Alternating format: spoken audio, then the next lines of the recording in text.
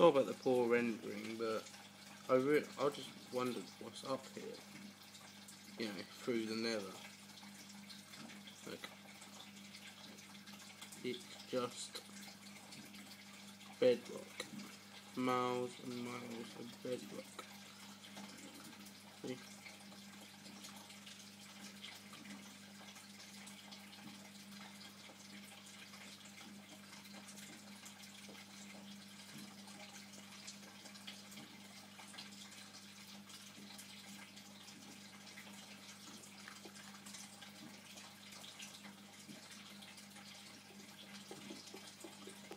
Here's boot, I'm back in there.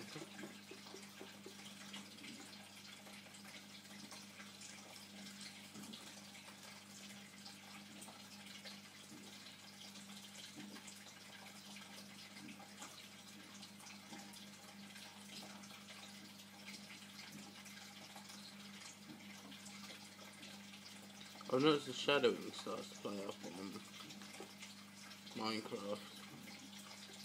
Like these spots there.